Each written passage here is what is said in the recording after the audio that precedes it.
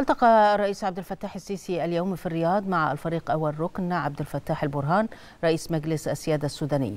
وأوضح المتحدث الرسمي باسم رئاسة الجمهورية أن الرئيس أكد مواصلة مصر لسياساتها الثابتة والداعمة للسودان الشقيق على كافة المستويات خاصة خلال الظروف الدقيقة الراهنة التي يمر بها أخذا في الاعتبار الروابط الأزلية والمصلحة الاستراتيجية المشتركة التي تجمع البلدين الشقيقين على المستويين الرسمي والشعبي.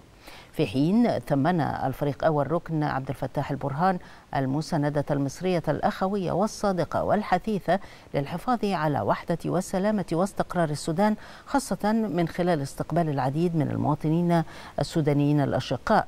والتي تأتي امتدادا للدور المصري الفاعل والمقدر في محيطها الإقليمي بالكامل. وقد شهد اللقاء استعراض سبل تعزيز العلاقات الثنائية وتبادل وجهات النظر حول قضايا ذات الاهتمام المشترك.